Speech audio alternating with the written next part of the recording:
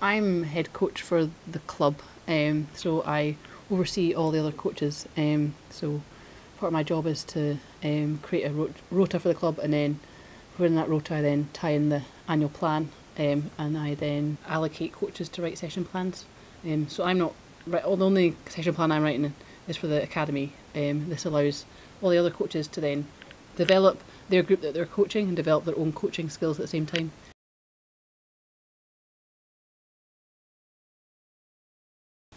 So I set up um, a squad called the Academy Squad within our club um, for our older athletes that we identified that were wanting more training, 12 to 16, well, 12 to 18, and wanted more, um, specifically more pool time. So um, a bit of juggling and a bit of trying to work out how we would do it. Um, so we went from two groups to three groups, and the academy squad now swim for longer, and now they do running and biking for a bit uh, longer as well now. The club started as a pretty small club and is now big.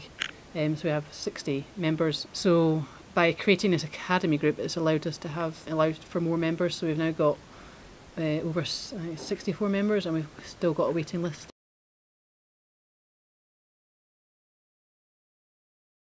So we're working more specifically on swimming endurance. So we've identified that um, some of them they can all well they can all swim but they're just lacking that little bit of endurance in swimming. So hence the longer session and because um, it's a quieter session because they've got basically an hour of quieter swimming lanes they can then just crack on and um, do the swimming that need to get done rather than getting caught behind people because the lanes are too busy. So before when we just had two groups it was like eight or nine to lane and it was quite crowded and people couldn't swim properly whereas um, now it works out that they're getting an hour of undisrupted swimming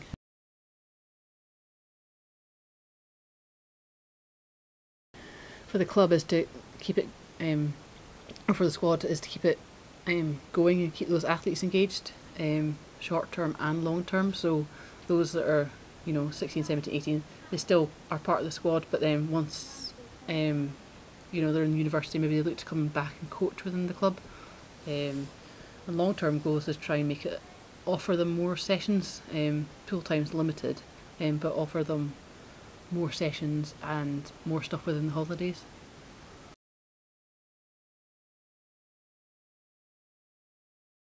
Well, you get a long time of, of doing exercise. It's good for exercise, good for training. We go through like lots of things that you do in a triathlon, which is very helpful to get the practical experience as well as just training every week. So it's building your fitness up.